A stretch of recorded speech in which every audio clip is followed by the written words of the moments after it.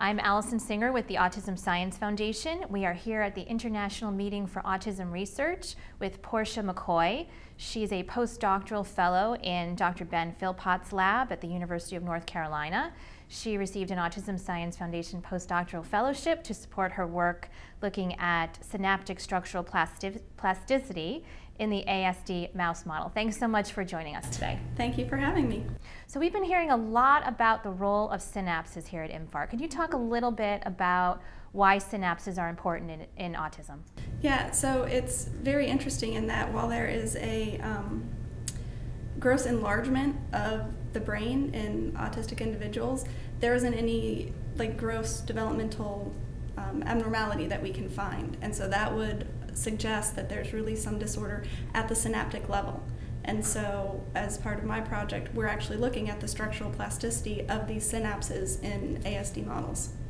Now, you're looking specifically at a gene called the UBE3A gene. What is the role of that gene in autism? So, the UBE3A is a E3 ubiquitin ligase, and its role is to take a ubiquitin uh, molecule and attach it to proteins that will then either modify their function or can actually target them for degradation.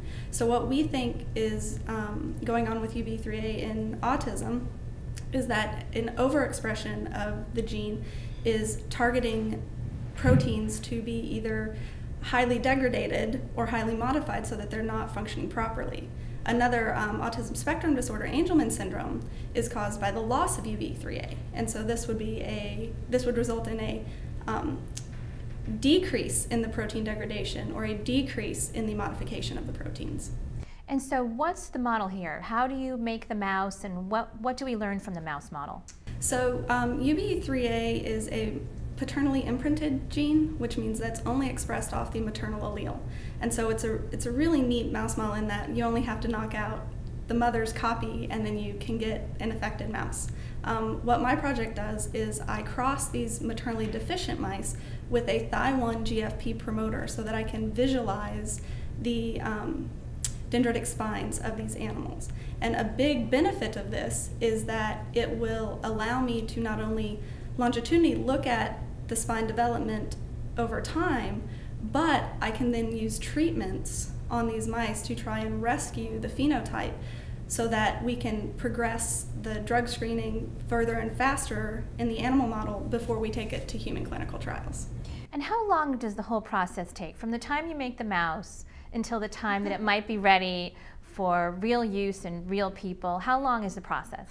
Um, you know, making a mouse is not as long as it used to be, although, uh, you know, I've been very fortunate in that the mouse models that we've had have been already made. So um, the Thy1 promoter GFP mouse was made by Guoping Feng, and the UBE3A uh, maternal deficient mouse was made by Yonghui Jiang.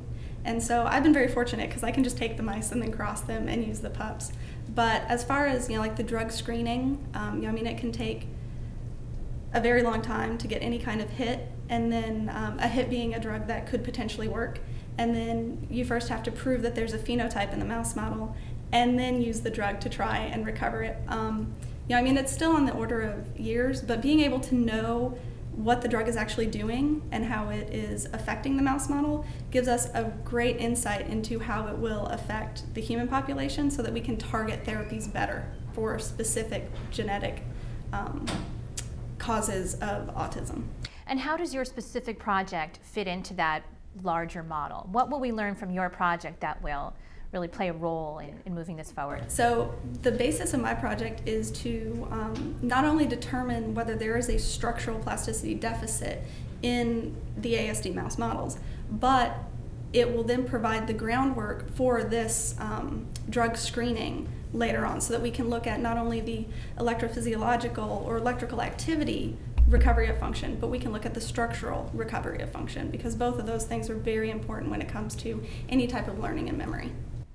So we are here at IMFAR. It's been a very energetic, exciting IMFAR. What has been your favorite part? Um, I think that getting the opportunity to have one-on-one time with Tom Insel at the uh, ASD SAD dinner was probably an opportunity that I wouldn't have had otherwise. You know, getting to, to pick his brain on the status of funding levels as well as, you know, like the best career path um, grant opportunities and things like that was just a once in a lifetime opportunity. And have you had an opportunity to really network with other scientists and find out what's going Uh, on in yes, other fields? yes, being able to, you know, because I'm very much a basic science researcher. You know, I work on at a bench every day, but being able to interact with the clinicians that actually study the um, individuals that have the same genetic characteristics that my animals have has been amazing because it really helps, you know, build that bridge that gap between my work and the human side. And so that's something that I don't think a lot of basic scientists get to do. Well, we are really looking forward to seeing the results of your study. We're so glad we're able to fund your work, and thank you so much for joining us today. Thank you so much for having me.